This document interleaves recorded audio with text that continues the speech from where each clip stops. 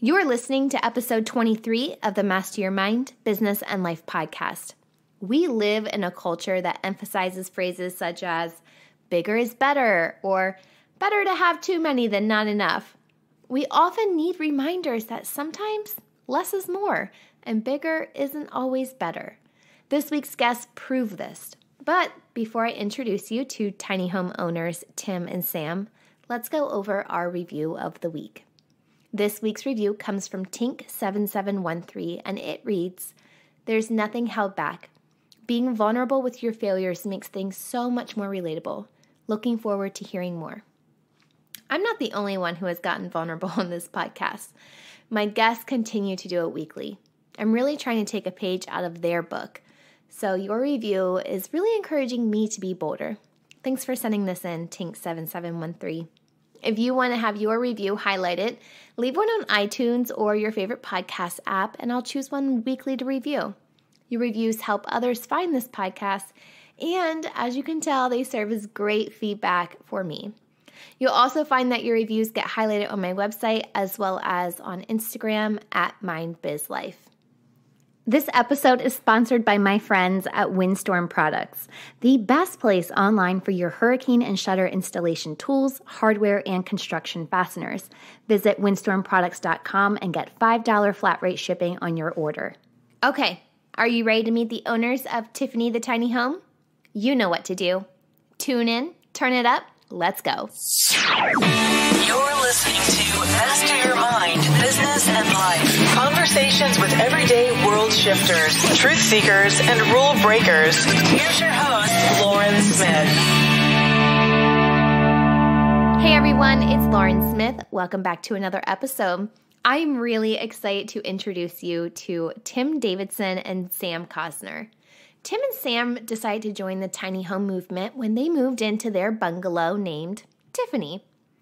Tim and Sam, and of course, Tiffany, have been featured on HGTV, AOL.com, Mind Body Green, Business Insider, oh, just so many. And even though Sam and Tim's home is tiny, their dreams are big. I am so intrigued with this lifestyle that I can't wait any further to dive into this conversation. So, Tim, Sam, welcome to the podcast, and thank you both for joining me today. Hi, hey, thanks Lauren. for having us. Well, there's a few reasons that I invited you guys on the show. The main reason is I think your lifestyle is so freaking awesome that I just want to learn more about it, but also because I find your journey in life just as intriguing. So, first things first, how did you guys come up with the name Tiffany for your beautiful blue tiny home? Well, Tiffany uh, Adam from a New Beginning Tiny Homes uh, uh, originally built uh, our house, and it, if you if you look at the house, it's a nice Tiffany blue. Um, but I uh, am a sales rep for a lighting manufacturer, and uh, if you go into Tiffany, you'll see the lighting, and there's stained glass, and so like a Tiffany and comfort, uh, Tiffany uh, comfort kind of style as far as uh, stained glass goes. So with all the blues and the stained glass, Tiffany just kind of seemed to stick. Uh, and then it, Tiffany the tiny home rhymes, so that's yeah. that's always helpful. it just it just felt right then, huh? yeah, yeah definitely. Yep. So, what did life look like for you guys before you decided to move into Tiffany the tiny home? Were you guys living in an apartment, a full size house? What what did that all look like? Um, it was pretty normal, I would say, for people in their twenties. I was living in a 500 square foot bungalow in uh, Florida, and then Tim was living in his parents' house down here. And um, yeah, it was pretty typical. I even in that 500 square foot um, little house, we found that I had a lot of space that I didn't use, and just junk was accumulating in that space, and then I had to clean it, and blah blah blah, and it was just really frustrating for us to have all this unused space.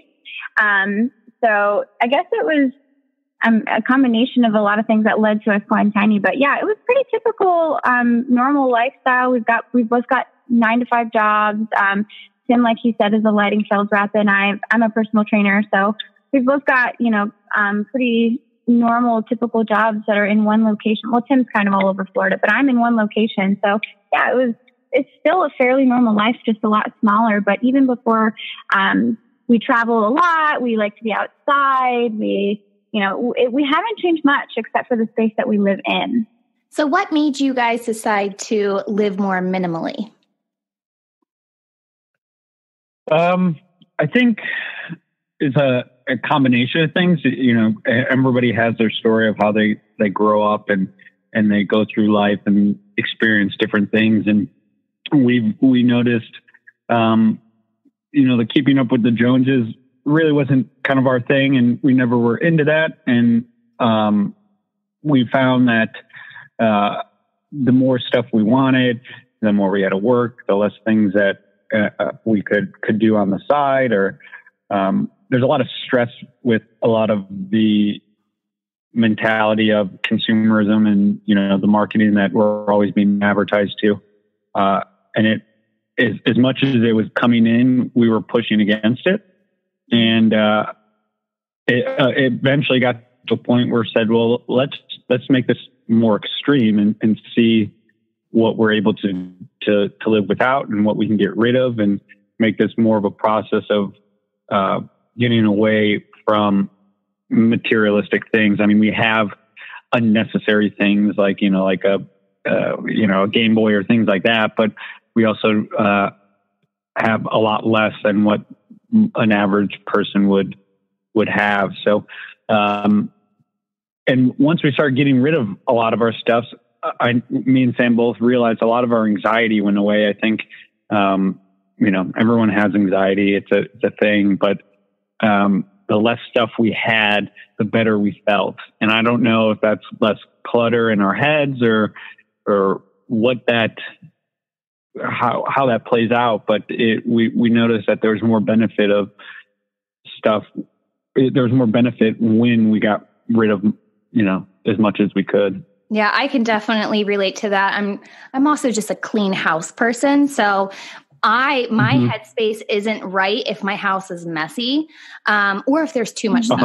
I I don't. I'm not attached to material things. I know some people are, and Christmas just happened, and a lot of people got an overload of stuff for Christmas. Um, mm-hmm. So for people yeah. who who might be attached to things, what was your process for downsizing your pos- possessions in the beginning? Did were you like this won't fit, and that was just an easy way to let go, or how did that all work for you?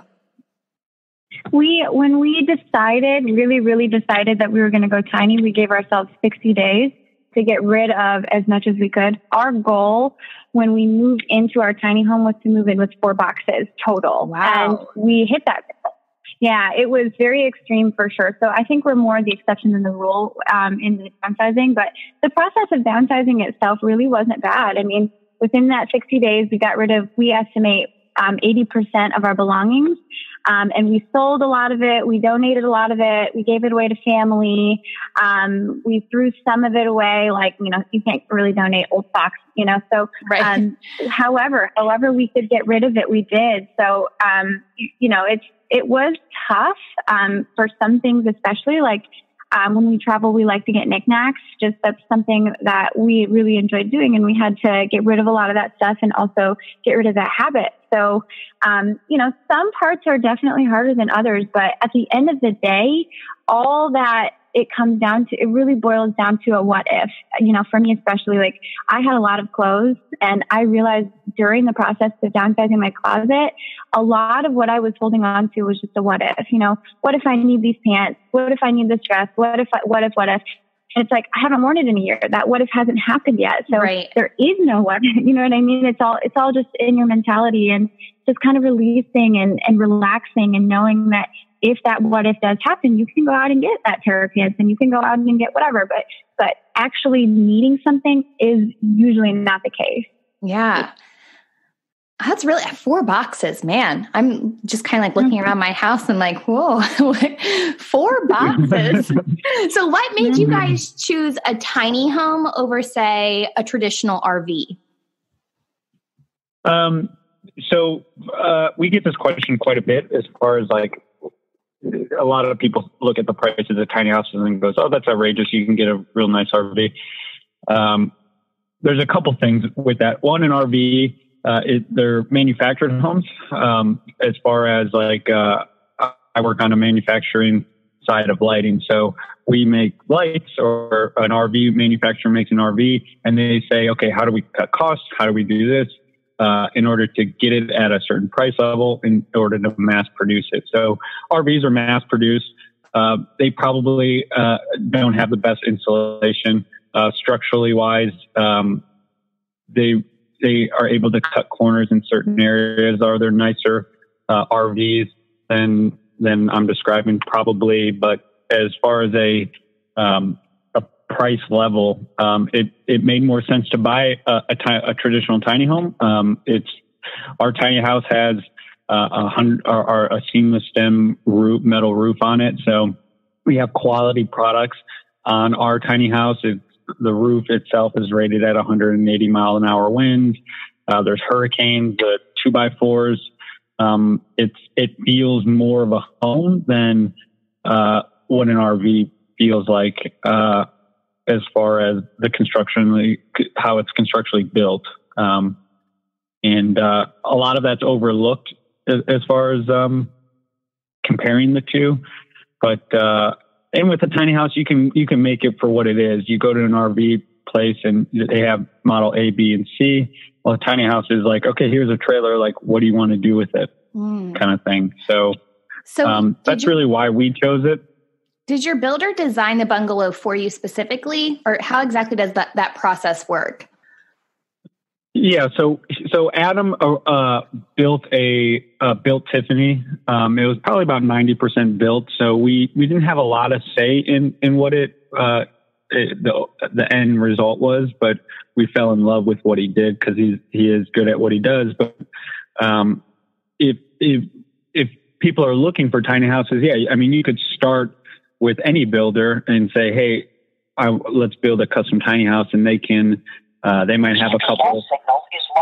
They might have a couple um, floor plans available, but you can also tweak and, and, and customize it to really whatever you want.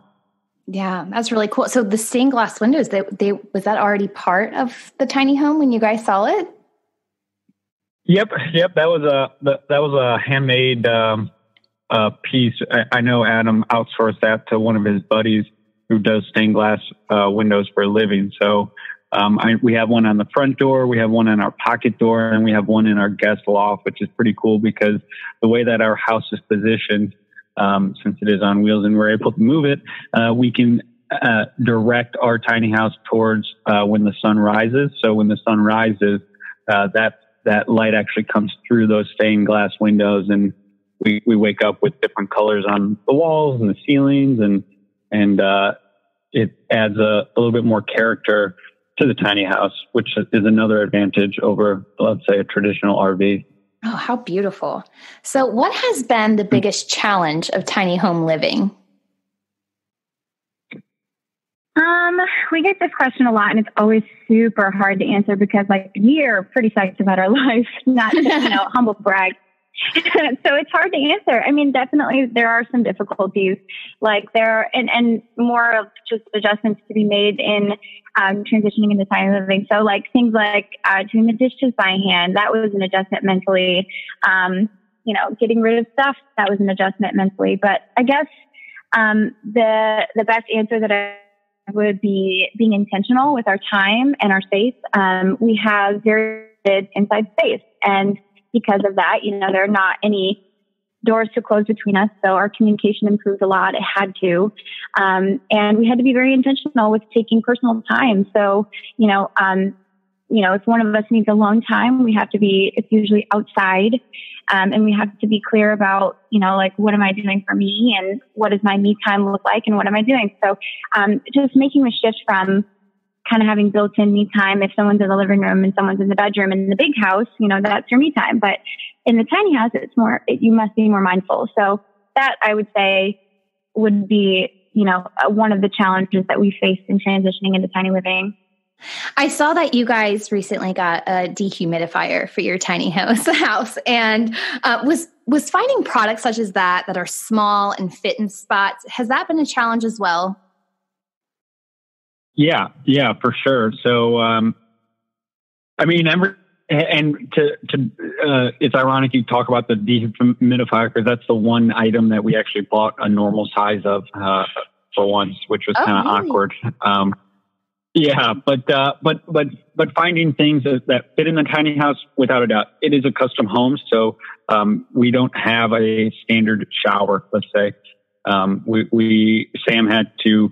Uh, she's pretty good at uh, like sewing and things like that, so she had to cut a normal shower curtain in order to make it fit into our shower. Uh, that way, it was a little bit smaller and wider, and how that all worked. Or um, we do, yeah. We, so we dev- and we piggyback off certain things. We use a lot of, uh, you know, we have a, a kitchen. Uh, we use kitchen um, foldable storage or things like that. That's made for the kitchen, but we use it, let's say, to hold like shoes or things things of that nature. So uh, finding products is is sometimes a challenge, but uh, where there's a will, there's a way, and and uh, there's there's something out there. And this might be a crazy question, but I just, I literally don't know the answer. Is there any type of store that specifically sells products for tiny homes? I don't I don't think so, but that's a wonderful idea. I think that if not I do, I do think that a lot of stores carry like tiny friendly stuff. Like everywhere has like space consciousness in mind. That's definitely where the mindset of, you know, um, you know, where young people's minds are shifting to. So I do think that, you know, stores are catching up and accommodating that. But I would love like a specific tiny house product store. I would love that. Yeah, I, I thought like that would just make life so much easier too. And I'm sure you guys probably also see other other people who live in tiny homes and products that they're getting, and that probably helps brainstorm some things as well. Oh yeah, for sure. There's a really strong community and there's a lot of sharing of like, what do you use that works? What do you have that you love? What did you try that didn't work? So there's a lot of idea sharing in the tiny house community for sure. So when it comes to clothes, how much clothes do you guys actually have? Because you can't fit a lot. So what does your wardrobe look like? do you want the actual item by item list? Because you could do that. Could. but- because it's that small, you could do item by item. Oh, yeah, I mean, I have, I, I roughly have, uh, I, I know I bought a couple shirts, uh, like last month, I think it was, because I, I found out that I, I could add a couple more, but I roughly have probably about 12 shirts. I have one pair of jeans. I have two pairs of shorts. I have one pair of dress slacks. Um, I have, uh, seven pairs of underwear. I have six, six or six or seven pairs of socks and then about uh, five pairs of dress socks, enough to basically get me through the week because we're going to do laundry. So why have more? right. Um, so yeah, I mean, I all, all my whole closet's actually three drawers that are built into the stairs. So we have stairs that lead up to the master loft, um, and in those stairs are three uh, drawers that I'm able to use, and that's my quote unquote walk on closet.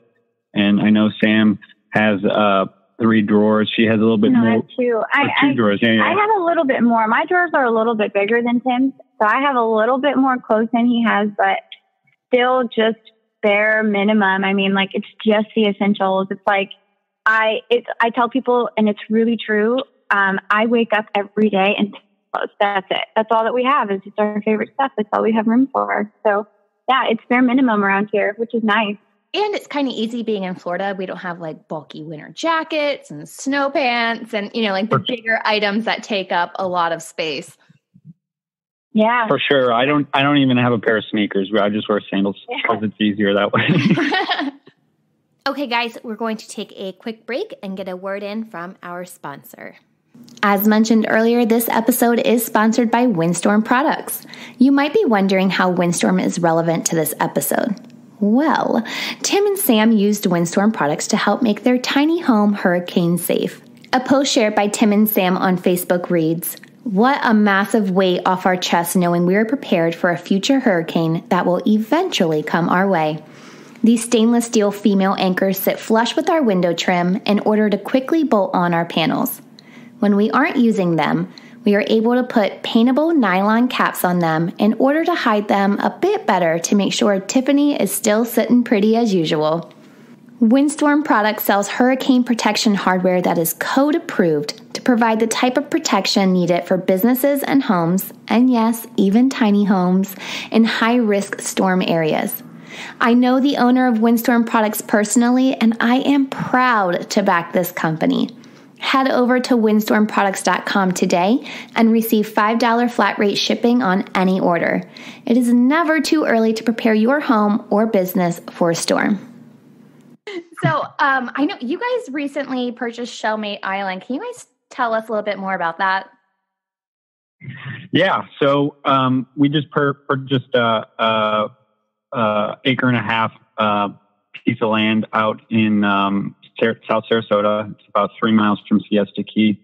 Um, there's it is we're calling it Shellmate Island. Um, it's kind of a, a, little pet name that me and Sam had when we first started dating, and, and it is surrounded by water. And what what we're doing with that is um, with Tiny Living, you know, we bought Tiffany, um, I think it was a year and a half ago.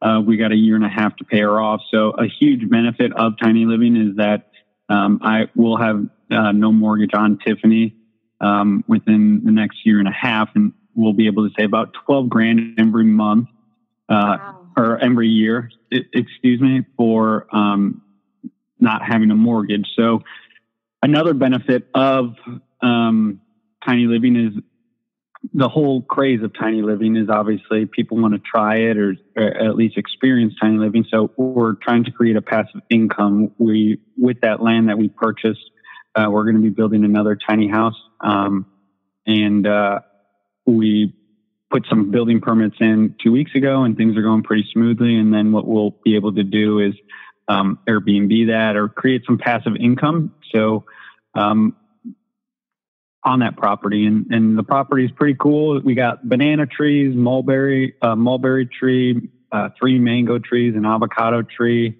uh, two fig trees. Um, a lot of a lot of good stuff. So we're a, we're able even with tiny living, we're able to create income uh, with such a small space, as, as odd as that sounds. No, another really goal I, I would say with the Shellmate Island thing is to really give people that experience because had we not experienced what tiny living was like before actually purchasing our home, I'm not sure we would have taken the job. So what we did was we stayed in a tiny house that was a vacation home for a week to make sure that we were able to, you know, um, live well in a in a space so we want to offer that to other people and give them that experience. Not only that, but having the use of outside space and really making sure people understand that like your outside space is your home too. Outside of your home, you live there too. So really incorporating outdoors with um, the tiny living thing. So really creating um, Shellmate Island to be indoor and outdoor experience and give people that um, kind of mindset of like this is what it would really be like to live tiny. So that's that's a big goal of ours with Shellmate Island. That is really cool because I I didn't realize that you guys had tried it out before you moved in. So I think that's almost that would be essential for me because how else do you really know if a lifestyle mm-hmm. is for you unless you can try it out? Exactly, yeah. right. So will that tiny house that you're putting on that one, will that also be on wheels so you can move it around or is that going to be a little bit more stationary? Um, it's going to be on a foundation. Um, the the caveat with tiny tiny houses that is that since it is such a new movement, there's uh, there's a lot of uh, gray areas with them. So um, this one will be on foundation because uh, Sarasota County, although they don't have a minimum square footage law that uh, is required for a dwelling unit, uh, it is required to be on a foundation, and I think that partially is due to obviously hurricanes.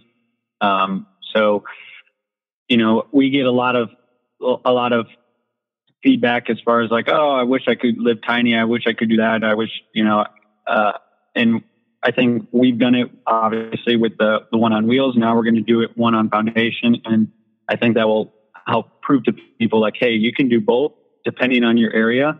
You don't have to go far, and and both are accessible and, and doable. And we've done both of them in the in the past, you know, two years now. So, do you guys also have um, your laundry built into your tiny home, or do you have to go to like a laundromat for that, or family or friends? We actually have a two in one. It's a washer and dryer in one. Um, I actually posted a review about it not too long ago. Um, it's awesome. It's the best. This is what a lot of European countries and Asian countries use.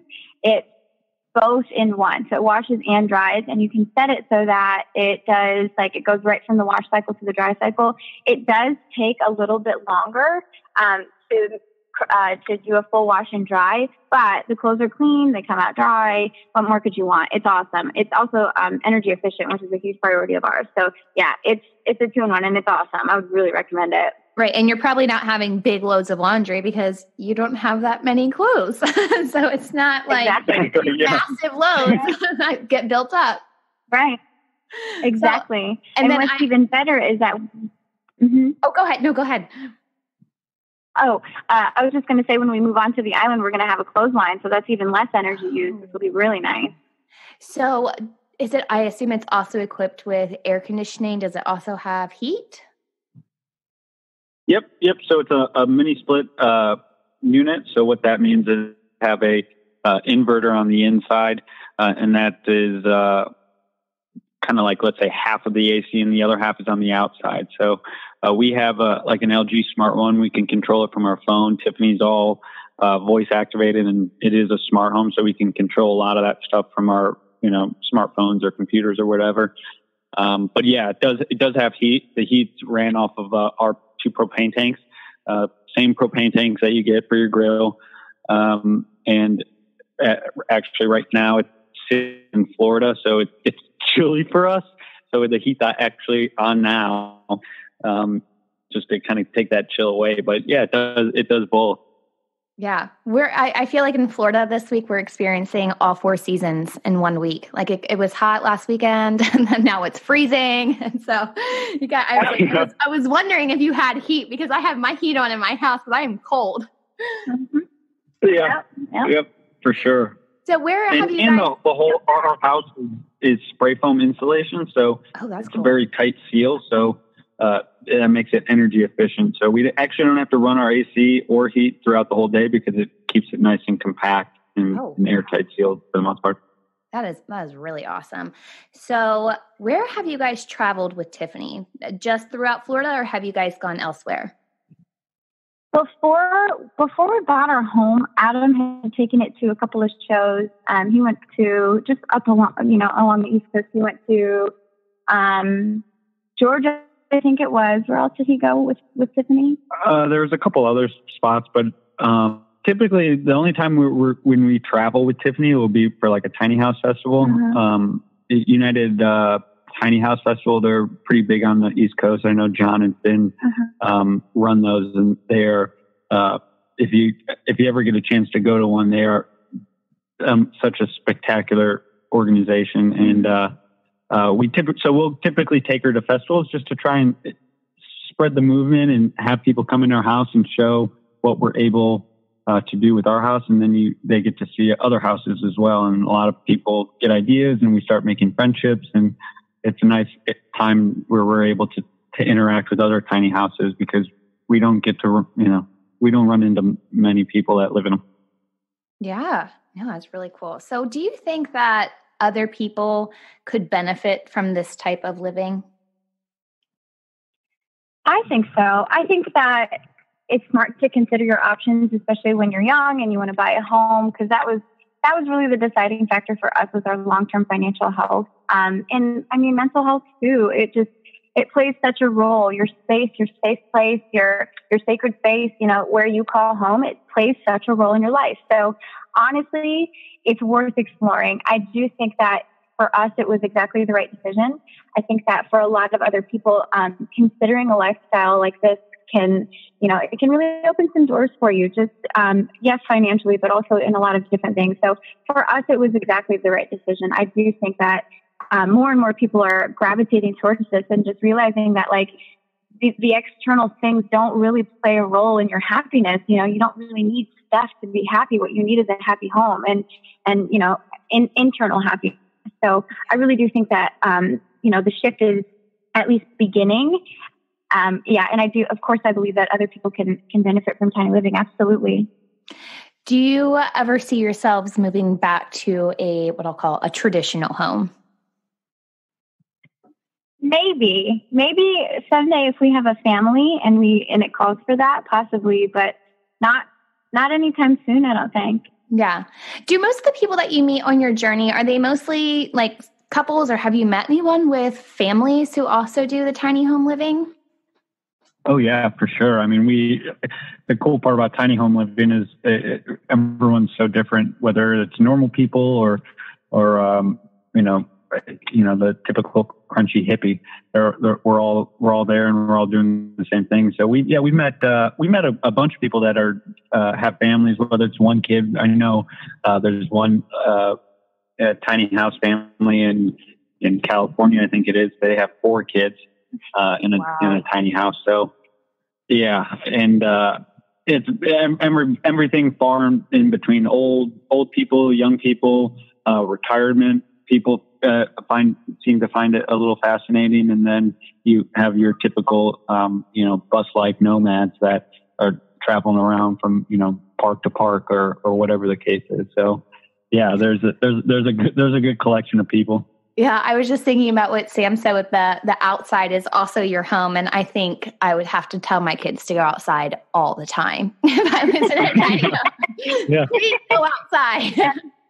Yeah, absolutely. yeah, and it's not a bad thing. You, you know, I, I I love technology and stuff, but you know, a lot of people say it's taking over other people's lives. So I think the more we get out there, is better. But uh, there's there's a good balance between it all. Yeah, mm-hmm. just the ability to unplug too is is really beneficial in life. Mm-hmm. Definitely. So, last question for you guys. What is next in this grand adventure of life? So, we know about Chalmette Island. What other big plans do you guys have? Hmm. I think for me personally, my my long term goal is to work remotely, work from anywhere. Um, so that that's already in the works. Um, as for our tiny house journey, we're kind of just tackling Chalmette. All most, if not all, of our energy is going towards that right now. So that's our that's a huge hurdle for us. So that's where most of our focus is.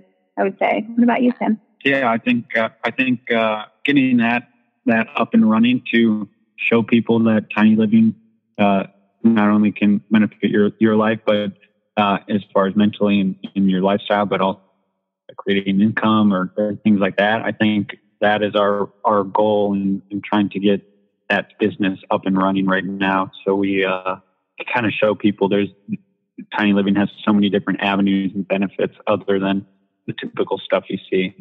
So. Oh, I love it.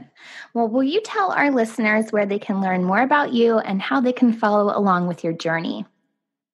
Absolutely. We have Facebook and Instagram, both of which we are Tiffany the Tiny Home. And then that's also the name of our website where you can find our blog. Um, we do uh, two to four blog posts a month, and we do things like product reviews, lifestyle, travel, all that kind of stuff. We blog about it all. So, um, yeah, that's where you can find us. Perfect. Well, thank you again, Tim and Sam, for joining me. I have enjoyed learning about your tiny home lifestyle, and I look forward to seeing more updates on Chalmette Island. Thanks. Thank you so much. I absolutely adored this conversation with Tim and Sam. Seriously, how cool is their tiny home lifestyle? You really need to follow them on social media because not only is their tiny home Tiffany so stinking cute, but they also share tiny home hacks and it gives you a great glimpse into their tiny home lifestyle. I've included direct links to their social channels on this week's episode notes found at mindbizlife.com. Thanks again to this week's sponsor, Windstorm Products, for being our first official sponsor. Head over to windstormproducts.com to learn more about this great company and the products they have to offer. Want to sponsor an episode or know someone who might? Check out the sponsorship tab on my website, mindbizlife.com, or shoot me an email at hello at laurensmithbiz.com. I'll see you back here next week, and until then, remember Every level of life is an opportunity to grow. Be well, my friend.